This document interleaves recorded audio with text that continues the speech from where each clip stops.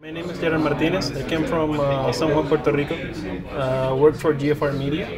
Uh, I guess the thing that was most impressive is the, the whole new business that is available that we are just missing uh, on the services side of things. And uh, I guess one thing that I will take back is uh, the statement that uh, every digital uh, buyer needs a digital seller. Uh, for us, that, that will be an important thing.